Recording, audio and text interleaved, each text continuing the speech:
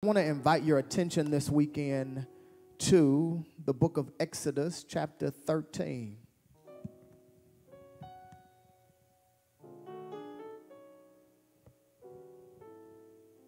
Exodus chapter 13, and um, I want to look at verses 17 through 22. 17 through 22. And uh, I'm going to see how we can take this text and connect it to our focus for the day. And so, uh, if preaching is going to be done up here, some prayer going to have to be done out there. I need you today, all right? All right. This is how my Bible reads out of the New International Version. It says, When Pharaoh let the people go, God did not lead them on the road through the Philistine country, though that was shorter. For God said, if they face war, they may change their mind and return to Egypt. So God led the people around the desert, around rather by the desert road toward the Red Sea. The Israelites went up out of Egypt ready for battle. And Moses took the bones of Joseph with him because Joseph made the Israelites swear an oath. He had said, God will surely come to your aid. And then you must carry my bones with you from this place. After leaving Succoth, they camped at Etham on the edge of the desert. And by day the Lord went ahead of them in a pillar of cloud to guide them on their way, and by night in a pillar of fire to give them light so that they could travel by day or night. Neither the pillar of cloud by day nor the pillar of fire by night left its place in front of the people. From these verses, I want to preach using as a subject the long way round. The long way, the long way round. In Exodus chapter 13, verses 17 through 22, we find a remarkable account of how God leads the children of Israel out of Egypt into the promised land.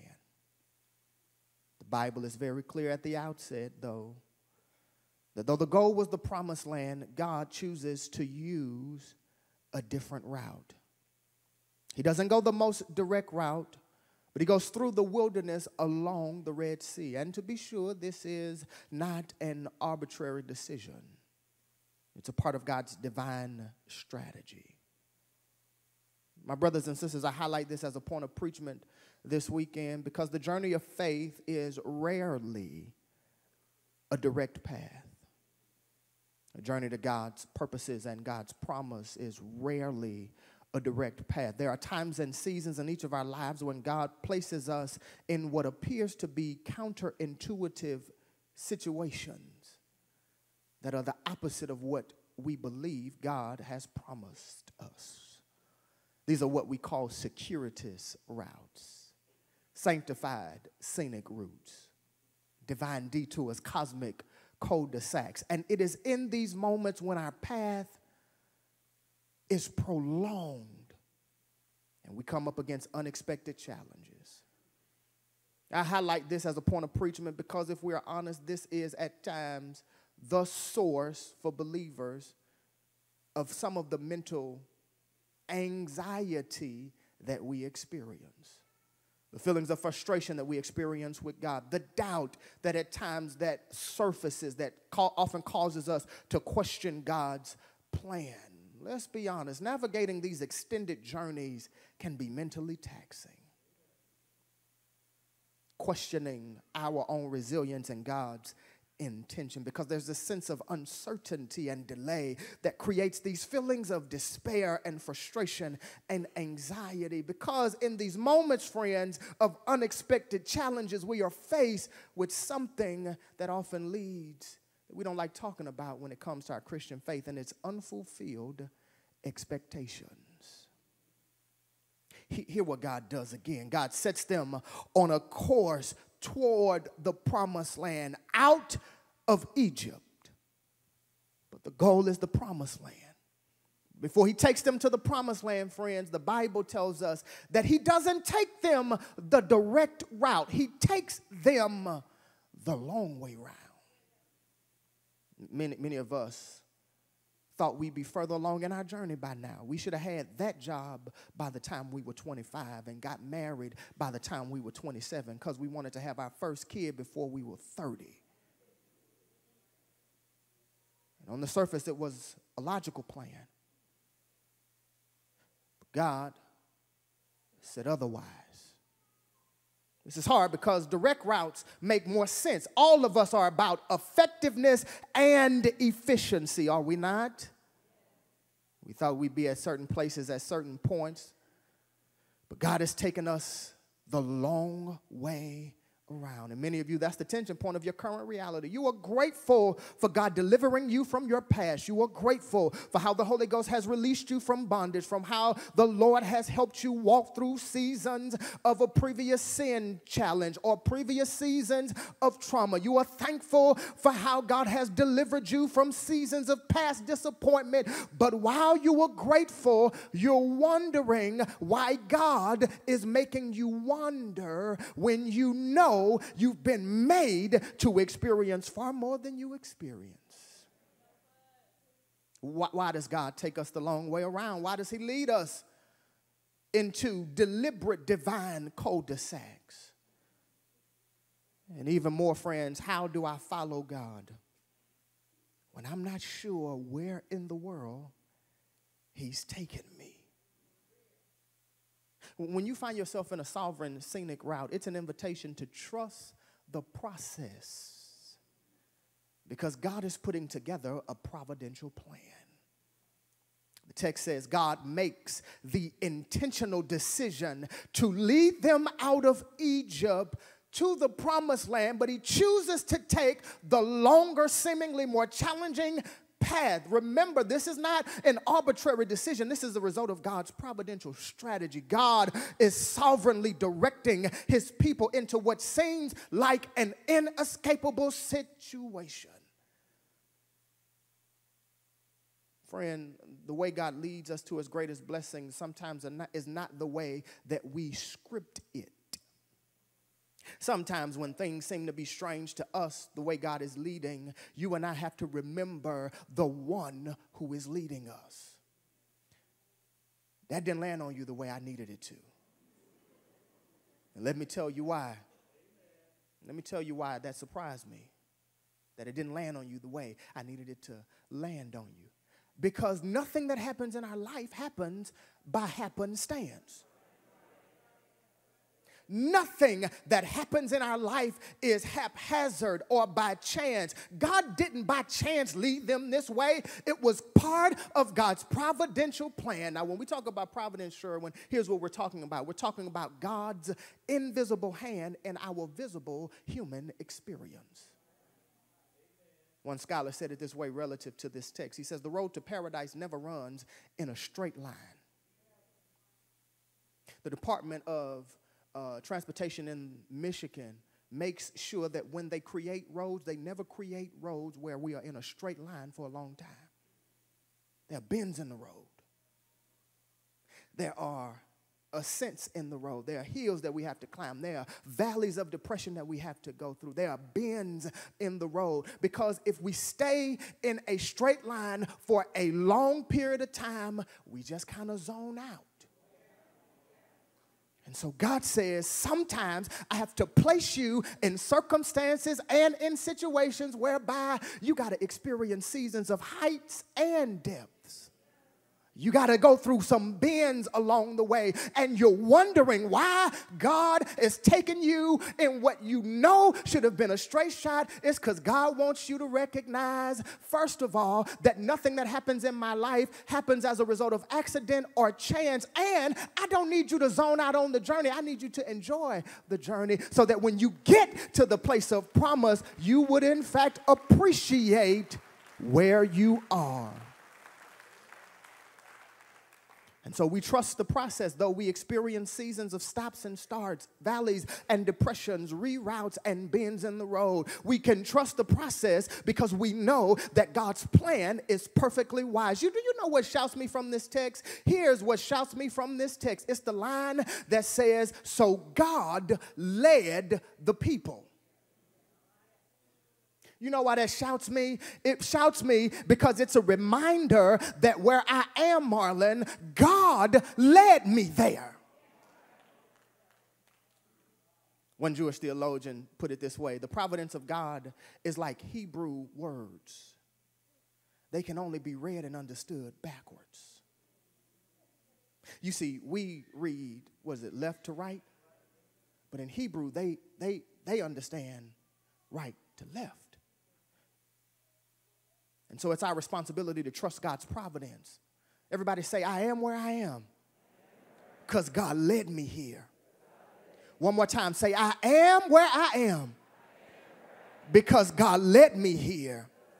And what I'm experiencing right now, it may not be my preferred space, but I'm going to thank God for it because God led me here. I didn't plan on being divorced, but God led me here. I didn't think I would have to endure this level of financial distress making this amount of money that I'm making, but I'm here because God has led me here. I'm sure that I would have been further along in my entrepreneurial journey, but I ain't tripping as much as I am because I understand now that where I am in this space is exactly where God wants me to be. And so, what do you do? You got to trust the process because God is providentially putting some things together. But here's the next thing I want to invite you to consider as you go on the journey the long way round. Treasure the fact that God knows what you really need. I'm in verse 17 B clause into verse 18. Friend, if the children of Israel would have had their way, they would not have chosen to go down the path of the wilderness. They certainly would not have gone along the Red Sea. If it were up to them, they would have taken the shorter route. But the Bible says God takes them the long way around because He knows what lies ahead of us down the road. Here's why I'm thanking God here because this is a reminder that though I'm in a space that I didn't desire to be in, I'm there because God placed me there, and I can thank God for where I am, though I don't like where I am, because I understand that God knows what I can handle. For many of us struggle to see what's down the street when God has the capacity to see around the corner.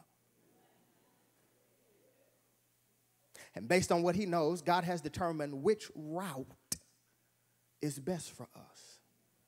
I thought about this because um, I drove in from Houston uh, uh, last night, had a, a, wedding, and I hung out with my family and uh, whatnot. And um, I, I, I probably would have been home sooner if I would have turned my GPS on. but the reason why I didn't turn my GPS on was because um, I'm, I'm, I'm, while I'm for the most part a patient man, I am not the most patient when I'm driving. In fact, I hate driving, and hate is a strong word. I hate driving to wherever I, I'm going. We're in 2024, and uh, we still ain't figured out how to teleport to be where we need to be. Listen, I am waiting for the day when AI allows us to blink. I know it's coming. I already know it. You just be prepared for it. We can blink and be wherever we want to be because I hate the journey to my destination. I hate the process of getting to wherever I got to get to. And so, like many of you, when I get in my car, sometimes one of the first things I do is open up my Apple Maps, put in my destination to determine how long it's going to take me to get there, and more importantly, how much patience do I need to pack. now, Ms. Joyce, here's, the, here's what's interesting about using Apple Maps. When I put the destination in, the only thing it's going to show me is my next step. And, church, I've got to admit that there are times when I get frustrated with the journey because what I see on the map as my next step from my perspective looks like it's going to take me longer to get to the destination. Particularly when I'm driving around Houston, which is home for me, because I know shortcuts. And so instead of focusing in on what my next step is, I use what I think is the best route, only to discover that I'm more frustrated because I took a route that led me to a place where they was dealing with an accident.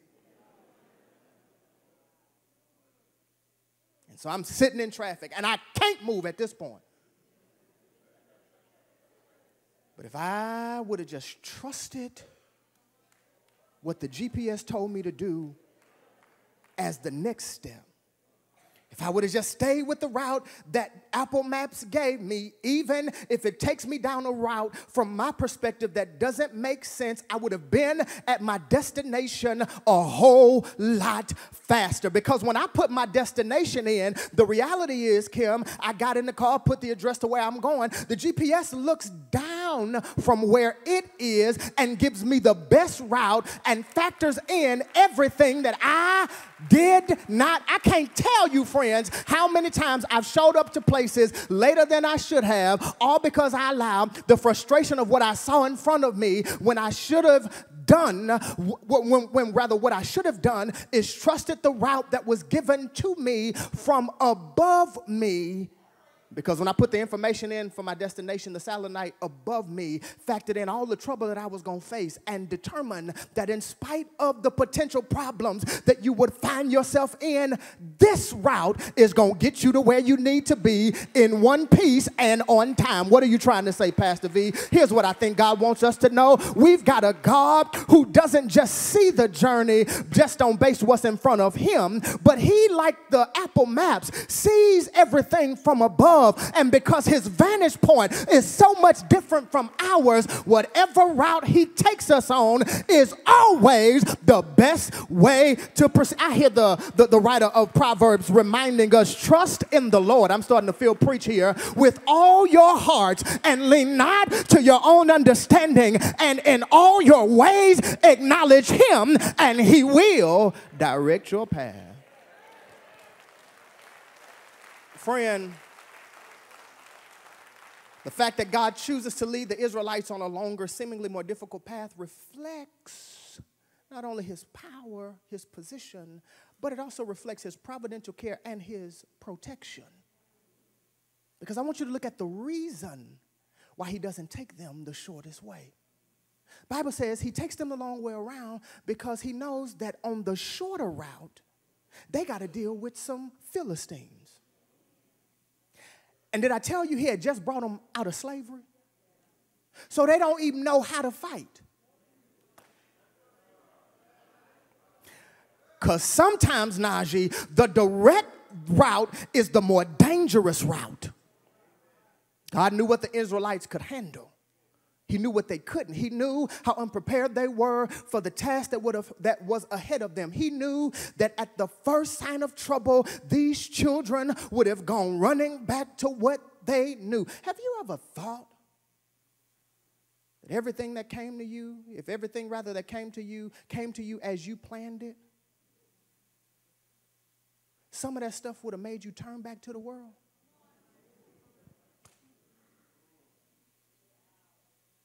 Because some of us have known sin strategies longer than we've known the Savior. And so we know how to handle difficulty from a worldly perspective. But God says, here's what I need you to do. It don't make sense to you right now, but do what I'm telling you to do. Joshua, there's a wall in front of you, and uh, here's what I need you to do. I need you to walk around it and don't say nothing for six days. And then on the seventh day, I need you to walk around it seven times. And then when you are tired, I need you to take your tired voice and shout. Now that don't make sense. But it makes sense when God is the one telling you to do it. And so this is why you and I have to lean on God's strategies. God is meticulously preparing every event, every circumstance, every situation with our best interest in mind. That's what blesses me about this text. That this text teaches us that God is actually thinking about us. That even when He takes us spaces and places and routes and reroutes that we don't desire, He's doing so with our best interest in mind. Because God knows us so well that He knows our thoughts and our propensities before we even think or feel them. He knows what our tendencies will be. He knows what we will experience. And somebody here, you ought to thank God because you can testify that even though the road that I was on has been difficult and it's taken longer than I expected, I thank God that God has taken me down this road because I am convinced that God knew that what I needed in that moment, He knew that the fastest route wouldn't have been the best route because the fastest route would have been the route that would have made me fight when I wasn't ready to fight. God, knew this, so God said, I can't let you go this way because if I let you go this way, you're going to have to face enemies you ain't quite ready for. I love that because God says, I had to confuse the children of Israelites just so that I can save them from a conflict that they knew, that He knew rather, that they were not ready for. I love that. That's, that's God's protective custody and His providential care because God ain't gonna ever put you in a fight that you ain't prepared for. I don't know about you, but I've been walking with God long enough now that I can thank God for the fact that God knows what God is doing. I can think of moments from my own perspective that were more simple and would have been more simple if I would have just did what God told me to do the way God told me to do it. God says, I, I, want you to go another route. God says, I know what I'm doing. My plans for you are far more superior than what you can humanly understand. God's ways are not our ways, neither is his thoughts our thoughts. And so, based on what he knows, God determines which road is best for us. And I don't know about you, but I thank God that God knows what I can handle.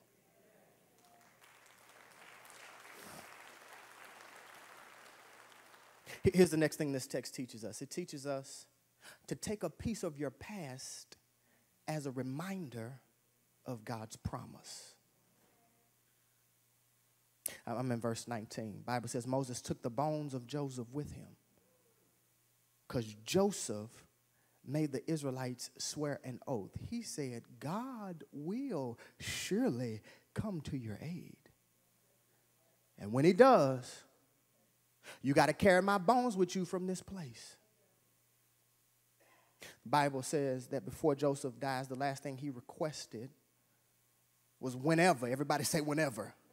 Whenever they got out of Egypt, don't leave him in Egypt, but take him with them to wherever they were going next. Let me tell you why this is significant. Moses, um, um, Josh, uh, Joseph, rather, not Moses. Before Moses shows up on the scene, you know the stories. Latter part of Genesis is the story of Joseph, and Joseph literally saves the world as the number two man in Egypt.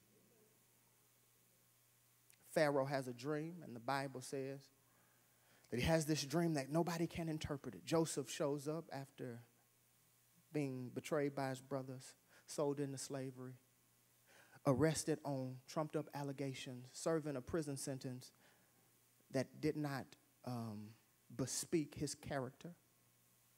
He got in trouble for doing the right thing, but it positioned him, talking about how God providentially places us and takes us a long way around, positions him in front of Pharaoh, where he's able to interpret the dream and literally, Billy, save an entire nation and thus the entire world. Well, when the book of Exodus opens, the Bible says it's been some time now. Moses, I mean, jo- Joseph has been dead for a minute now. And there have been generations in Egypt that have gone by. So many of them that at this point, the current Pharaoh doesn't know who Joseph is or what Joseph has done. He don't realize that the only reason he's alive to be king is because of what Joseph did. That's a whole nother sermon for a whole nother day. The Bible says, Genesis chapter 50, that before Joseph dies, he makes his brothers swear an oath and they pass it down from generation to generation. And Joseph says to his brothers, I'm about to die now. But I want you to know before I die, God is certainly, absolutely, surely going to come to your aid and bring you from this land and take you to the land, because this ain't the land, to take you to the land that God promised our forefathers, Abraham, Isaac, and Jacob. And don't miss it. When God does come to your aid, make sure that somebody carries my bones up from here. In other words, you better not leave me here where you found me. Take me with you wherever you go. Because while I am thankful, Joseph says, for what Egypt did for me, Egypt is not the place that God promised. And so the Bible says Moses, as they're preparing to leave, grabs Joseph's bones. As a reminder, first of all, of God's ability to always be faithful. And so, can you, can you imagine Moses, is getting ready to lead these two million people out of Egypt into the wilderness? They got all this stuff with them. They tying stuff down.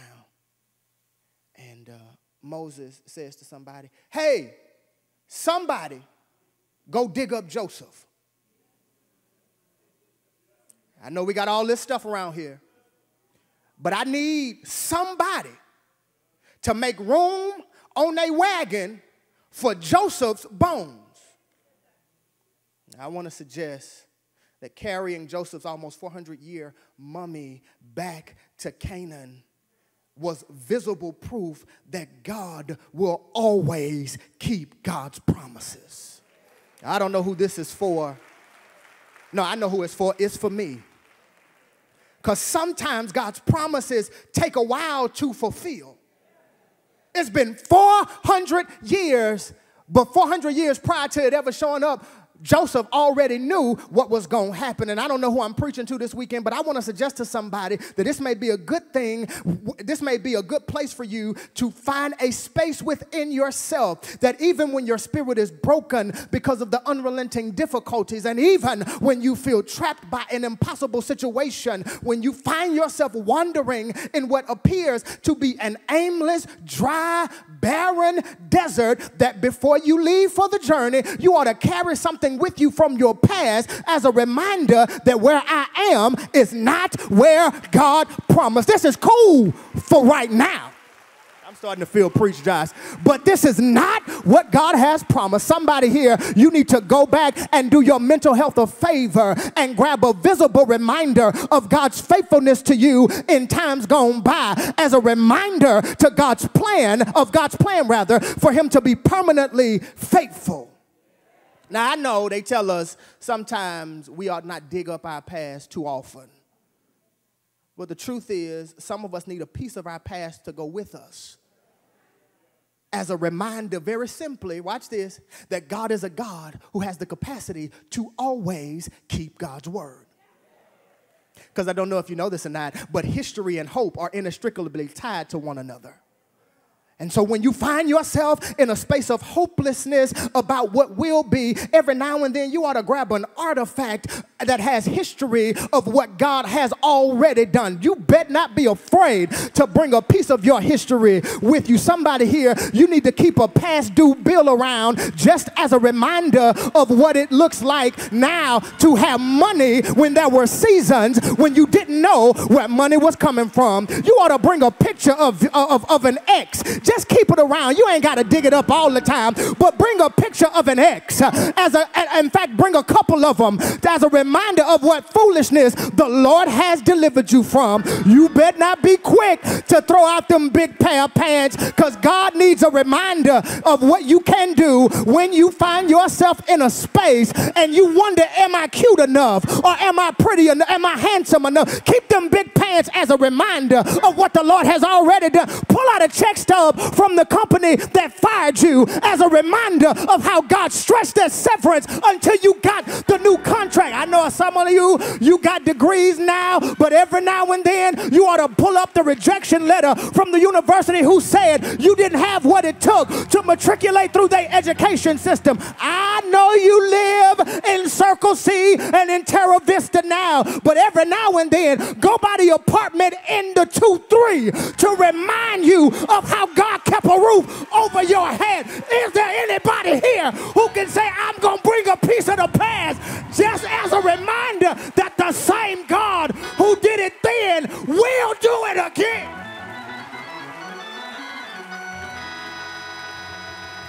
Don't throw it all away. Keep a piece of it with you as you travel along the journey. That's why I shout every time I get a chance, because in my mind I got a mental Rolodex of all the things the Lord has brought me from. And I can call it up so much now that you can't make me doubt him. I know too much about him. I'm done. I'm done. Here's the last thing. I'm done. I'm done. Here's the last thing.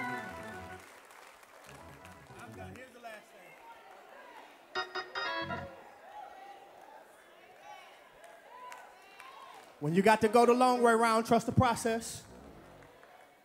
Treasure the fact that God knows what's best for you. He's not going to take you in a place that you ain't prepared for.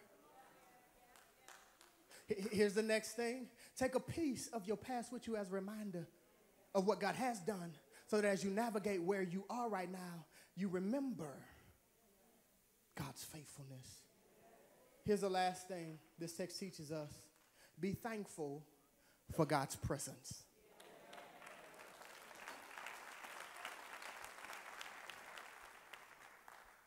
Friend, the truth of the matter is for these Israelites, the path that they were on was indeed uncertain. But while the path was uncertain, God made sure that God's presence was certain. Text says the children of Israel have now left Egypt and now they're bordering the edge of the wilderness. And as they are, the Bible says in verses 21 uh, and 22 um, that God provides his presence. We talked about how God demonstrated his providence. We talked about how God gave them his promise. But to be sure, he made sure that he didn't just leave them with providence and a promise, he left them and guided them with his presence. And friend, that's good news to me to know that even in uncertain paths, I can take confidence in God's presence. That even when I don't know where I am, God loves me enough to not let me fend for or figure things out by myself. Did, did, I, did I tell you it's Pentecost Sunday? Because that's what the Holy Ghost is. It is the he is the indwelling presence of God to help lead us and guide us and help us to experience the best that God has to offer. He gives them the, gives them a picture of his presence through the pillar of cloud by day, pillar of fire by night. This pillar is symbolic of God's presence. God says, I want to localize my presence. Listen to what I'm about to tell you. God says, I want to localize my presence among my people. And because I want to localize my presence, the Bible says that He manifested His presence in the form of a pillar of cloud by day and a pillar of fire by night. I love it because what this reminds us, Denise, is that God isn't just interested in leading us from places of oppression but it also means that he has a plan to lead us into the promised land that he promised us. What this teaches us, friends, is that God is not indifferent toward our struggles. He manifests his presence day and night. It's the picture, it's a picture rather of the reality that no matter where they went, God's presence was continuous. Everybody say continuous. Verse 22 indicated indicates rather the continuous nature of God's presence, that God would always be there. I love it because no matter where we are, God is always there. I need this to sit on somebody now. That wherever you are, God is there. One more time. That wherever you are, God is there.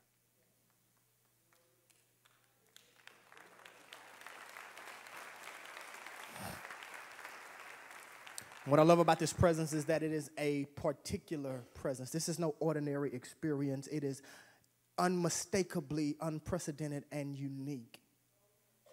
God says, I want to be whatever you need me to be whenever you need me to be it. He shows up as a cloud in the day and fire at night. He shows himself as one who can be concealed and revealed at the same time. Pillar of cloud by day. He shows up as that pillar of cloud to prevent them from being exhausted as they traveled in the heat of the day in the desert. But he also shows up as a pillar of fire by night because deserts get equally cold. But he also wanted to protect them from the vulnerabilities that lurked in the night. So he demonstrates his faithfulness continuously, unprecedented, particularly to remind the children of Israel that as long as you let me lead you, whatever you need me to be, I can be that for you. You need wisdom to navigate the difficulties of the day, I got you. And if you need somebody to help you deal with the dangers that lurk in the night, I can do that for you as well. And friend, as I push toward the close, that's God's word for somebody in this room this weekend. That whatever you need me to be, if you let me lead you, I'll be that for you.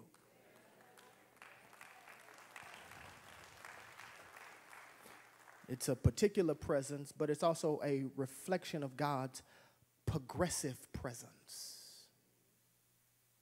Friends, these clouds were not static clouds, these clouds moved. They didn't stay in one space. They literally went ahead of them, leading them and allowing them to go far enough ahead of them to where they were able to adapt to their new environment. And all the people of God had to do in order to know where to go was to follow the cloud. And if the cloud moved, they moved. And if the clouds didn't move, they didn't move. And God says to somebody here, you need to understand that as I lead you, you better not jump ahead of me.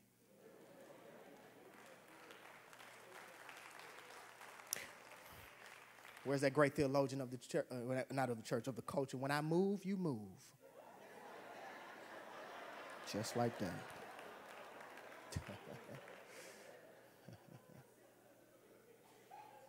and so we don't move until God moves.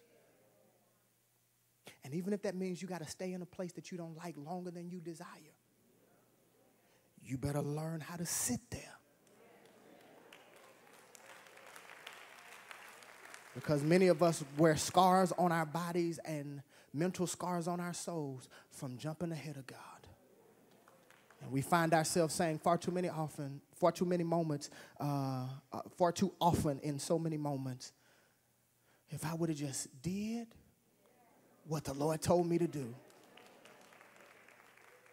I wouldn't have to deal with this one or that one. I wouldn't have these issues. The Lord told you just wait a couple months, but you just had to go buy it. And now you're dealing with debt unnecessarily. And you can't even enjoy it because it's broke and you can't afford to get it fixed. I ain't got no help in this Black Baptist church. That's all right, I'm moving. Here's the last thing. I'm having way too much fun. Let me get y'all out of here. it's a particular presence it is a progressive presence, but the cloud is also a picture of God's persistent presence. I'm done, but notice that just because it was a moving cloud, it did not move so fast that it left the children of Israel behind. This cloud was a changing cloud, Mr. Gregory. And though it was a changing cloud, it was a cloud that served as a continuous presence to remind us that you and I don't have to worry about the journey because you are not traveling by yourself.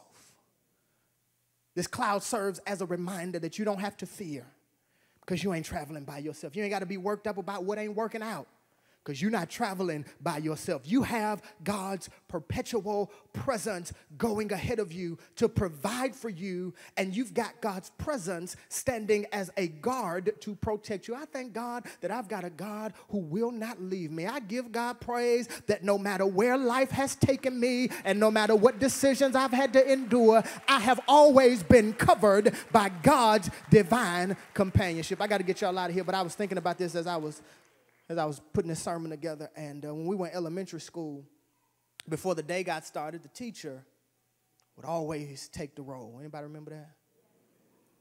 So every day, before the lesson start, the teacher would get out her attendance sheet, began to call names of the students in the room in alphabetical order. And our job was when we, when we heard our name, tell me what you're supposed to do. Present here, present, present here. And so Joanna, the teacher, would start out Adam, present. Brooks, present. Carter, present. Coatney, Davis, Fernandez, presence. Jeter, so on and so forth. And in the event that the person was not there, what would happen? You normally wouldn't hear anything.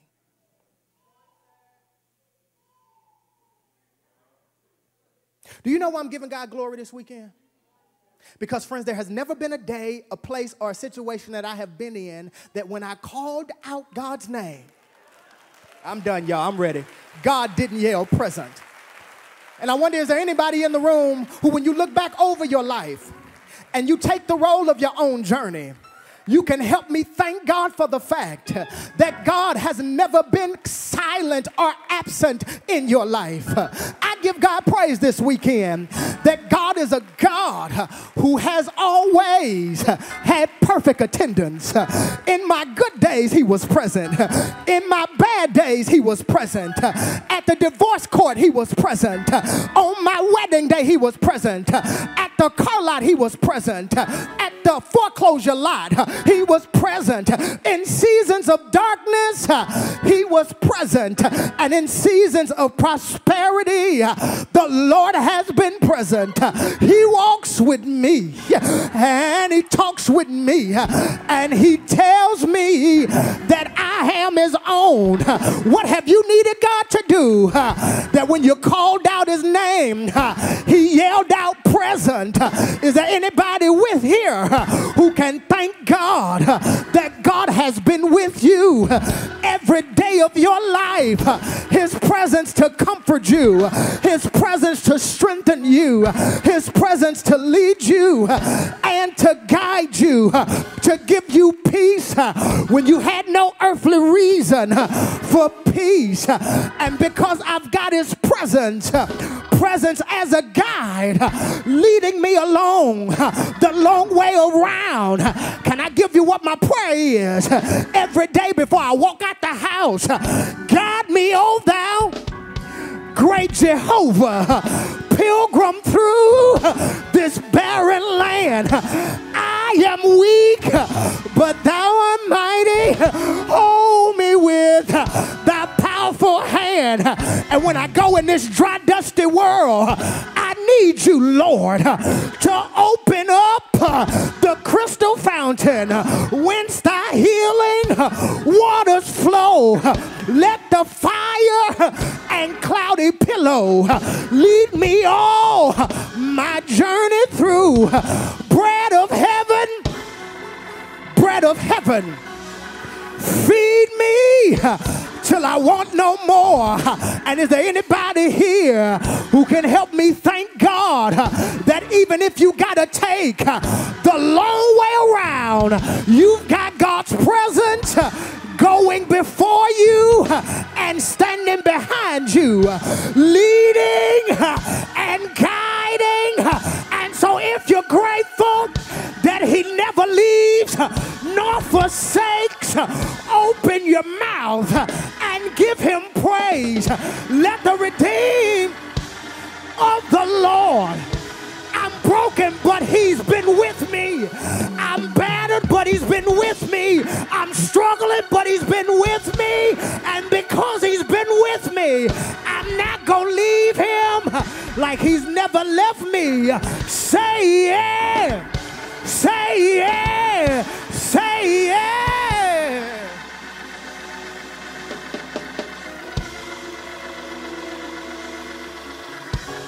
I'm done. Everybody stand to your feet all over the church. We're going home.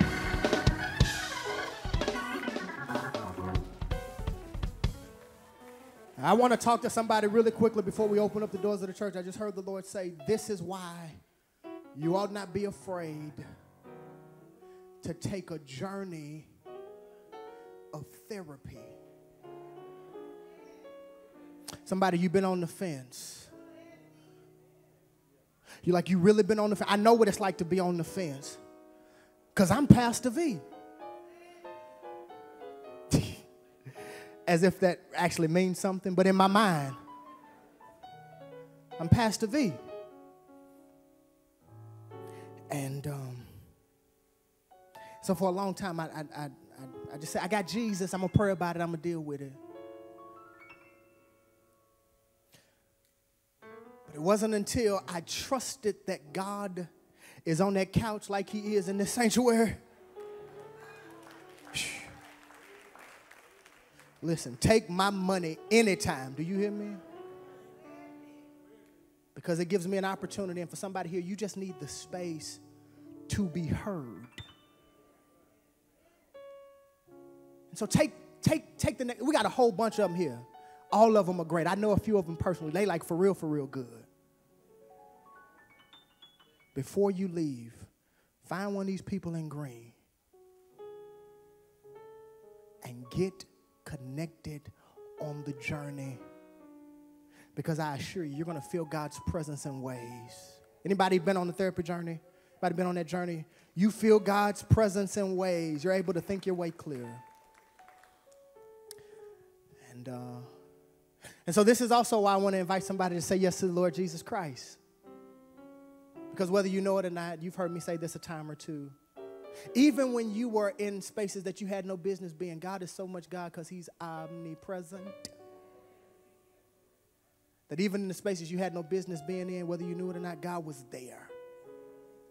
And He protected you for a moment like this so that you can surrender to His leadership. So if you're here this weekend, you don't have a relationship with the Lord Jesus Christ, I want to invite you to say yes to the Lord Jesus Christ, to surrender your life to Him and let Him guide your life. And even if He guides you along a way that doesn't quite make sense to you, trust that His plan for you is for good and never for evil to bring about an expected end. Say yes to the Lord Jesus Christ. You can do that for those of you who are in this room. To my left and your right, as soon as this worship experience is over with, See those people there? My brother Deacon Kevin Enders is standing as one of the representatives of members of our decision team who will walk you through the beginning stages of your salvation journey. Or maybe you want to be a part of this church, a church that not only speaks to the beauty of what it means to walk with Christ, but to speak in a way that's relevant to the ways in which you live your life. You want to be a part of this church. We ain't no perfect church. We wouldn't dare claim to be. And even if we were, we couldn't have been because they let me be a part of it.